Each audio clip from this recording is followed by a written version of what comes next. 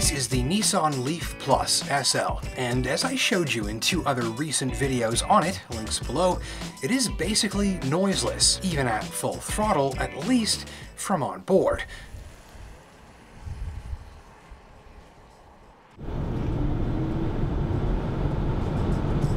I had an idea while we were out shooting the review video the other day to get creative with the placement of the microphone, and so may I present, here's what the Nissan Leaf Plus SL really sounds like. Make sure to comment below on whether you like it or hate it.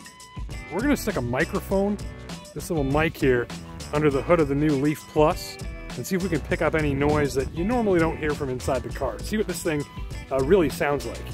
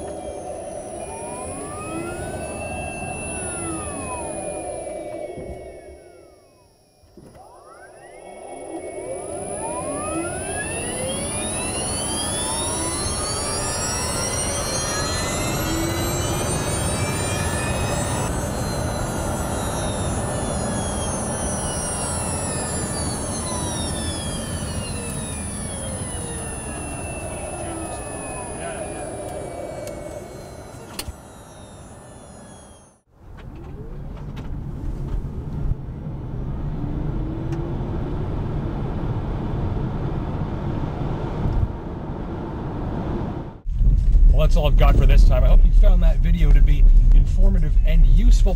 And until next time, take care and drive safe.